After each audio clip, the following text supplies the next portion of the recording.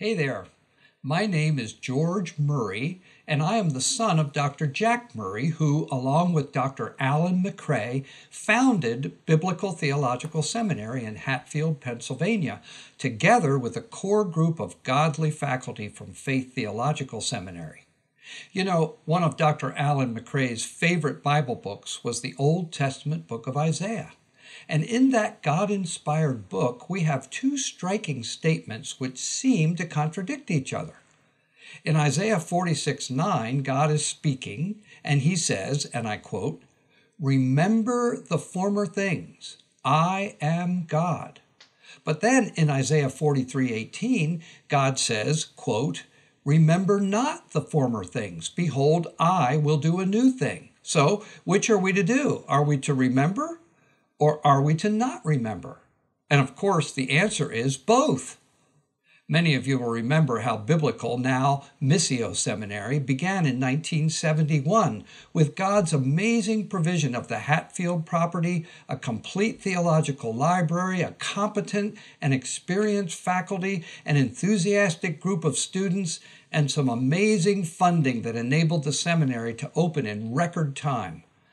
And we can remember with thanksgiving all the many wonderful things God has done for Missio in the intervening 49 years. Yes, God tells us in the book of Isaiah to remember the former things because He is God. And those things could only happen because of His wonderful provision and direction. But then, God also tells us in Isaiah to remember not the former things because He is doing a new thing. And that certainly describes the current moment in Missio Seminary's history. We have a new name, Missio Seminary, which describes our missional approach to ministry. And we have a new location, the city of Philadelphia, Pennsylvania's largest city and the sixth largest city in America, representing the rapid worldwide movement of people to urban areas. You know, if my father, Jack Murray, were still alive on Earth, I think he would be thrilled with Missio's new name and location. Why? Well, first of all, because my dad was first and foremost an evangelist with a missionary heart.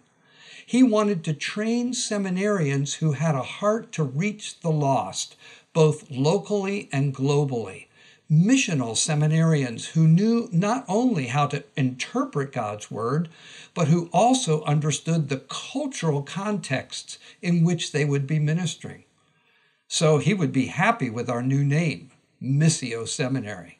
And secondly, my dad would be extremely supportive of our new location, right in the middle of the city of Philadelphia. Why? Because for many years, my dad, Jack Murray, was the pastor of one of Philadelphia's leading urban churches, Church of the Open Door. And during those 10 years, I saw my father's burden for this great and needy city. He would be thrilled to know that Missio Seminary's vital training program is taking place right in the context of Philadelphia's urban life. Yes, if my dad were still on earth today, I think he would look Missio's president in the eye and say, Dr. Frank James, you have my full blessing as you lead Missio Seminary into the future. Go for it, brother.